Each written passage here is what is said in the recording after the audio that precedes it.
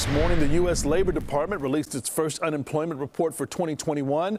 There is some encouraging news. Nationwide, there were 787,000 new jobless claims. That's down around 3,000 from the week before. Preliminary stats show that last week there were more than 47,000 new jobless claims filed here in Illinois. That's also down from last week. The state will finalize these numbers coming up at noon.